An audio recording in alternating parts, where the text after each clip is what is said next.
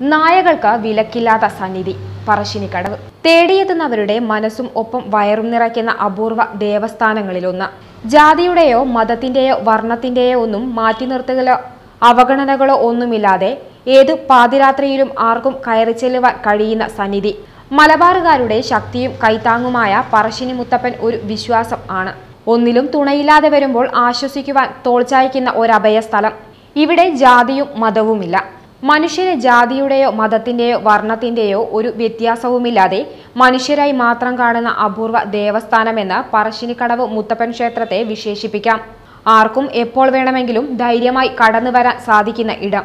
എല്ലാ ദിവസവും തെയ്യം കെട്ടിയാടുന്ന ക്ഷേത്രം കൂടിയാണിത്. എപ്പോൾ വന്നാലും ഇവിടെ നിന്ന് ഒരു തടസ്സവും കൂടാതെ അതത്ര വൈകിയാണെങ്കിൽ പോലും ഭക്ഷണം ലഭിക്കും. ഒരിക്കലും നടക്കില്ലെന്ന് കരുതിയ കാര്യങ്ങൾ ഇവിടെ മുത്തപ്പ സന്നിധിയിലെത്തി പറഞ്ഞ് പ്രാർത്ഥിച്ചു പോയാൽ അതിലും വലിയ മറ്റൊരു സമാധാനമില്ലെന്നാണ് അനുഭവസ്ഥർ പറയുന്നത്. വർഷത്തിൽ എല്ലാ ദിവസവും തെയ്യം കെട്ടിയാടുന്ന ഒരേയൊരു ക്ഷേത്രമേ ഉള്ളൂ അത് പറശ്ശിനിക്കടവാണ് വെള്ളാട്ടവും തിരുവപ്പനയുമാണ് ഇവിടെ ദിവസവും കെട്ടിയാടുന്ന തെയ്യക്കോലങ്ങൾ. ചന്ദ്രകലയുടെ രൂപമുള്ള കിരീടം വെച്ച് ശിവനെയും മത്സ്യത്തിന്റെ രൂപത്തിലുള്ള കിരീടം വെച്ച് മഹാവിഷ്ണുവിനെയാണ് മുത്തപ്പൻ പ്രതിനിധാനം ചെയ്യുന്നത്.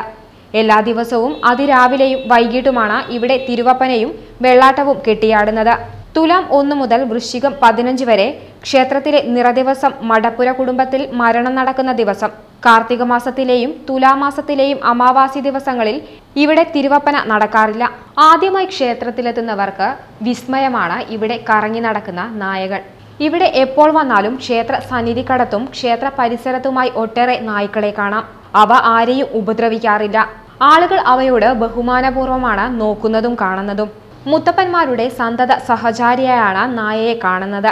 ക്ഷേത്രത്തിലെ പ്രസാദം ആദ്യം നൽകുക ക്ഷേത്രത്തിനുള്ളിൽ തന്നെയുള്ള ഏതെങ്കിലും ഒരു നായയ്ക്കായിരിക്കും. പരമ്പരാഗതമായി തുടരുന്ന ക്ഷേത്രാചാരങ്ങളെ മാറ്റിമറിക്കുന്ന ഒരിടമാണ് പറശ്ശിനി മടപ്പുര. ദ്രാവിഡ ആരാധനാ രീതികൾ പിന്തുടരുന്ന ഒരിടം. കരിച്ച ഉണക്കമീനും കള്ളുമാണ് ഇവിടത്തെ പ്രധാന നൈവേദ്യം. എല്ലാ വഴികളും അടയുമ്പോൾ അവസാന ആശ്രയം എന്ന നിലയിലാണ് ആളുകൾ മുത്തപ്പനെ തേടിയെത്തുന്നത്. ഇവിടെ എത്തി പ്രാർത്ഥിച്ചാൽ എന്തിനും പരിഹാരവും ഉത്തരവും ഉണ്ടാകുമെന്നാണ് വിശ്വാസികൾ പറയുന്നത്. തെയ്യക്കോലത്തിൽ നിൽക്കുന്ന മുത്തപ്പന് പരിഹരിക്കാൻ പറ്റാത്തതായി ഒന്നുമില്ലത്രേ. ഓരോ ദിവസവും ഇവിടെ എത്തുന്ന വിശ്വാസികൾക്ക് ഒരു കണക്കുമില്ല. ആയിരക്കണക്കിന് ആളുകളാണ് ഓരോ ദിവസവും എത്തുന്നത്. ഏഴായിരത്തിനും എണ്ണായിരത്തിനും ഇടയിൽ ആളുകൾ ഓരോ ദിവസവും ഇവിടെ അന്നദാനത്തിന്റെ സമയത്ത് എത്താറുണ്ടത്രേ. വിശേഷ ദിവസങ്ങളിൽ ഇവിടെ എത്തുന്നവരുടെ എണ്ണം പതിനായിരം കടക്കും.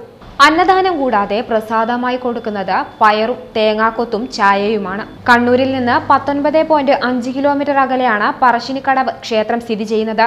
കണ്ണൂർ തളിപ്പറമ്പ് പാതയിൽ ധർമ്മശാല എന്ന സ്ഥലത്ത് നിന്ന് തിരിഞ്ഞാണ് ക്ഷേത്രത്തിലേക്ക് പോകുന്നത്. ഇവിടെ നിന്ന് നാല് കിലോമീറ്റർ ദൂരം ക്ഷേത്രത്തിലേക്ക് സഞ്ചരിക്കണം. കാസർഗോഡ് നിന്ന് എൺപത്തി കിലോമീറ്ററും പയ്യന്നൂരിൽ നിന്ന് മുപ്പത്തിയൊന്ന് പോയിന്റ് നാല് കിലോമീറ്ററുമാണ് ഇവിടേക്കുള്ള ദൂരം. കണ്ണൂരിൽ നിന്ന് ക്ഷേത്രത്തിലേക്ക് രാവിലെ മുതൽ ബസ്സുകളും ലഭ്യമാണ്. അന്വേഷണം ഡോട്ട് കോമിന് വേണ്ടി അനുശ്രീ വത്സൻ.